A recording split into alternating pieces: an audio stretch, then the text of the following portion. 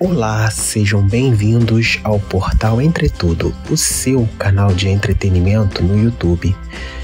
Galera, hoje a gente vai tocar no assunto que a gente gostaria de saber a opinião de vocês. Vocês gostariam que a gente continuasse a fazer vídeos sobre esse assunto, que é a denúncia das atrizes contra o Márcio Melling, né?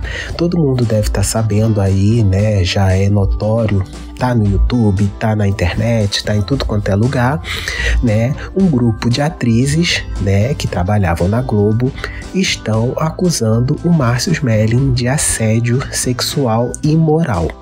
As acusadoras, né, elas deram entrevistas ao site Metrópolis, né?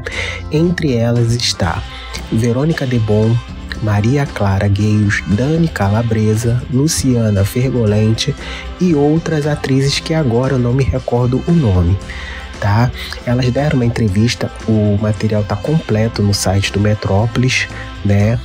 E depois da publicação desse material do Metrópolis, o Márcio Melling criou um canal no YouTube para que ele possa rebater cada acusação de cada acusadora, né? Junto ao Márcio Smelling, tem também um jornalista que trabalhava no UOL, Ricardo Feltrin, que também saiu do UOL, criou um canal no YouTube para ajudar o Márcio Smelling a se defender. Gente, a história está muito confusa porque a gente começa a ver o lado das acusadoras e a gente começa a ver as provas que o Márcio Smelling tá mostrando pra gente no site e a gente fica confuso. Eu queria saber de vocês.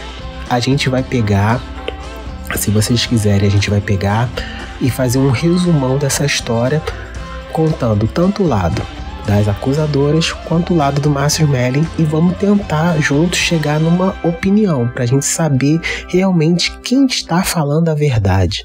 Se vocês quiserem saber mais sobre esse caso, deixa aqui nos comentários, deixa a opinião de vocês, diz se vocês acham, vocês concordam com o Márcio Melling, você com, vocês concordam com as acusadoras, vocês acham que ele foi realmente um assediador ou se o Márcio Melling é vítima nessa história, deixa aqui nos comentários, deixa o seu like nesse vídeo vídeo, não deixa de comentar, porque é muito importante esse engajamento para o crescimento do Entretudo, tá bom?